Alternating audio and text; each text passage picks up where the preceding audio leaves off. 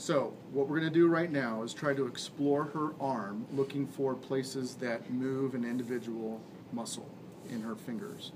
So we're going to turn up the voltage a little bit. We're going to start down low, and we're just going to say, "Do you feel this?" Yes, I do. Yeah, and if you look right here, you can see her biceps flexing, so we know it works. So now we're just going to explore and look at her fingers. I don't see anything. Don't see anything. Keep her lubed. Do I see anything? No.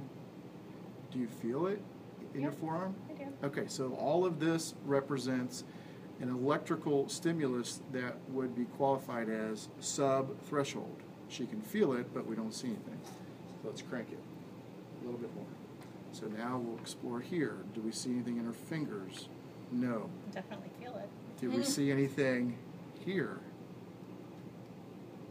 Oh, I think I see something.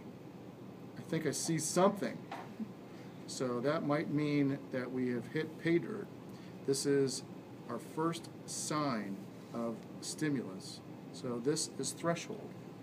Below this voltage, we saw nothing. Let's just turn it down a little bit and see if we see anything. Okay, so I'm pretty happy that we found threshold. So anything below, so this is threshold. Now we're cranking, oh, that's beautiful. One finger moving, which means one motor unit. All right, so that's great. Let's see what it takes to achieve maximal stimulus. I have no control over this, I Okay, promise. all right. So I'm gonna lube her extra, and I'm gonna crank it here. Let's see what happens. Okay, that's pretty good.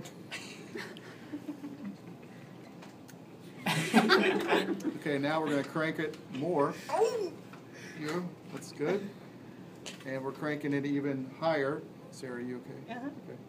So we're cranking it even. I'm not gonna watch because I might try to control it. Now I'm going to crank it full steam ahead. And let's, okay, so that's probably the maximal sustain. Okay, so I won't do that anymore. You're doing great. So I'll turn it back down to something reasonable. This is nothing like Okay, yes. Okay, so that's good. Okay, now our second step today is going to be adjusting frequency. So here we go. Frequency means we're going to start out at maximal and we're going to go watch here we increase increase increase. Summation watch here we go. Summation. Oh that's awesome. Now watch this. Full steam ahead. Tetanus! Nice. So that's muscle summation tetanus. And if we would continue to do this it would eventually reach fatigue but that would take a very long time. So let's hear it for sarah. Yeah